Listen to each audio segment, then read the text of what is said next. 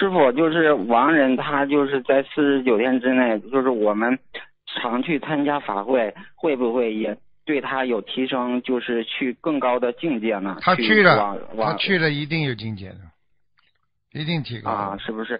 嗯，所以啊人家说那师傅，那就是普度众生嘛，就是上下上及天下之地呀、普度众生嘛，都是要救的呀。啊，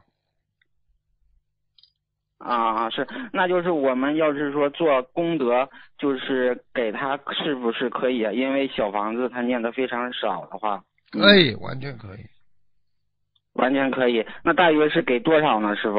随缘。随缘。啊啊啊！好好好，感恩师傅。